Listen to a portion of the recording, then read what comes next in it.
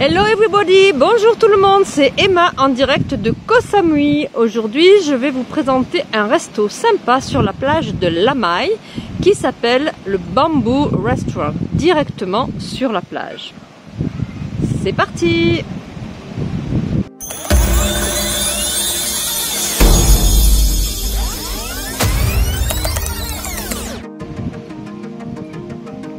Je vous propose d'abord une petite visite de l'établissement et de son environnement. Après avoir euh, descendu quelques marches, vous avez de part et d'autre deux salles couvertes avec du mobilier en bambou, ce qui donne le nom à cet établissement bien sûr. J'ai filmé ceci pendant les vacances de Noël, ce qui explique un peu plus de public.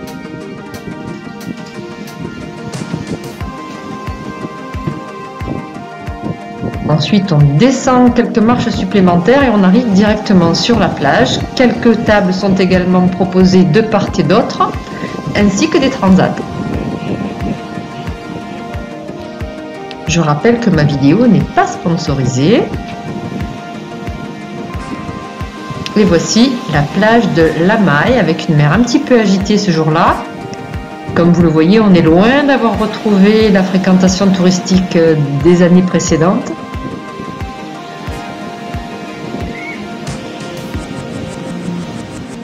Un peu de vagues ce jour-là, mais un beau ciel bleu, bien lumineux. Et une plage qui est vraiment très large à cet endroit.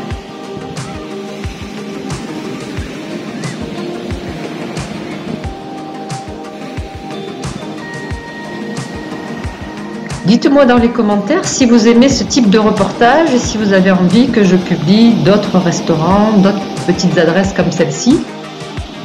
Je programme également de réaliser des vidéos sur des endroits que j'aime bien.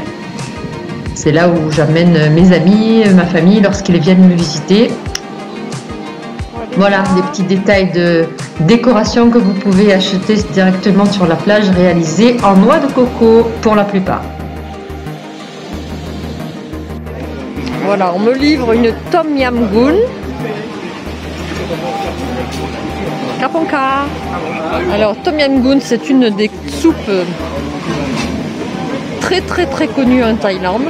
Elle est faite à base de tamarin, des. Alors, kung, c'est des, gambas, crevettes.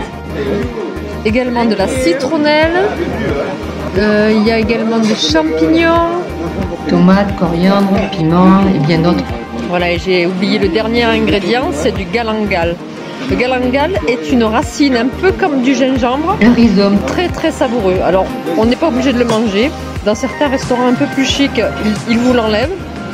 Mais quand on mange dans des restaurants un peu plus populaires, ils, laissent. Et ne pas hésiter à, essayer de croquer pour avoir un peu de, la saveur.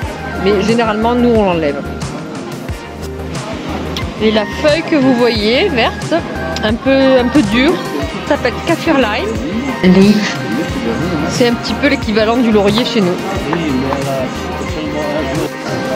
Bien sûr, un petit peu de piment. Et des. Alors là, c'est des petites crevettes, elles sont pas très grosses. Et j'ai ajouté un petit peu de riz parce que ça permet de manger épicé. Voilà, je crois que c'est à peu près tout les, dans les ingrédients principaux. Je mettrai un lien vers la recette dans le descriptif de la vidéo. Voilà, c'était Emma en direct de Koh Samui. Après une petite rando, ça fait du bien d'aller profiter du bord de mer. Mon objectif est aussi de vous faire découvrir des petits endroits secrets. Je vous dis à bientôt pour de nouvelles aventures et de nouvelles dégustations. Je vous dis à bientôt. Bye bye